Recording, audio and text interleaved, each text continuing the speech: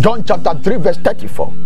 He says, For he whom God has sent speaks the words of God.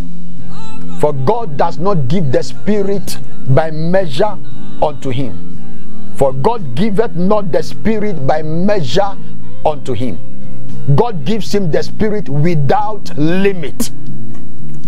Those who God has sent, they speak the words of God. They repeat the words of God.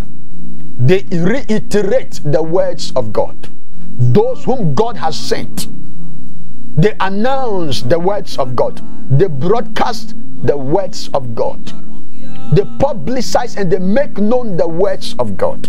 And as they are announcing the words of God, as they are declaring the words of God, as they are making known the words of God, God gives them the spirit without limit. Without limit.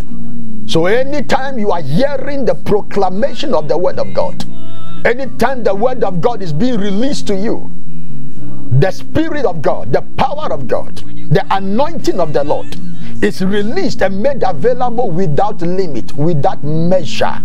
So the word of God is the conveyor, is the transmitter. The word of God is the transferer of the spirit of God, the power of God, the anointing of God without limit. You can fellowship with us at the Perez Chapel International, Grace Cathedral, Tema Community 1, Meridian, near the Tigo office. This 8 a.m. to 10:30 a.m. on Wednesday